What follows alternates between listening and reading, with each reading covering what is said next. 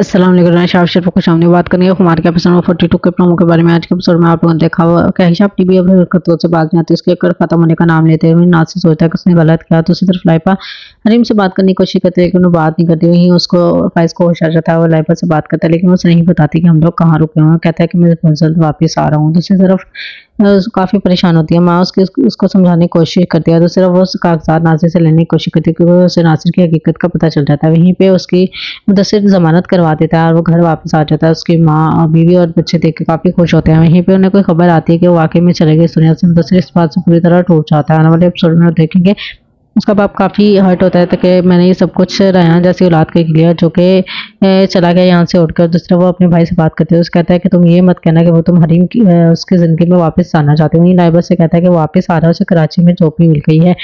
लाइबा काफ़ी खुश हो जाती है मुदसर काफ़ी परेशान होता है। अब जो जाने वाला कौन होता है, ये तो अगली वाली, आने वाली किस्त में ही पता चलेगा। वहीं वो कहती है कि अब मैंने बहुत कुछ खो दिया है।